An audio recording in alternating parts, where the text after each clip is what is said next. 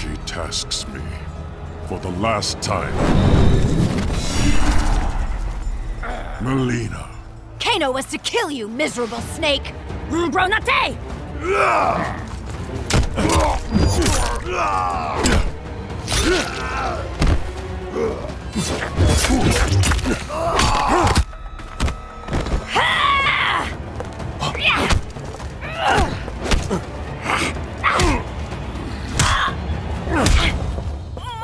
Otemayasame!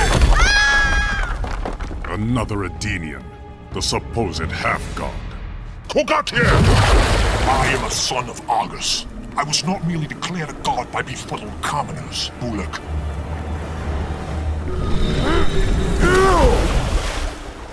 Surely Mileena suspects your true intentions, son of Argus.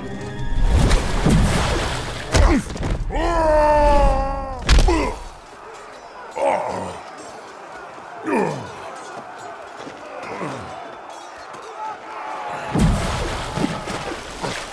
intentions are to teach you the difference between pretension and godhood.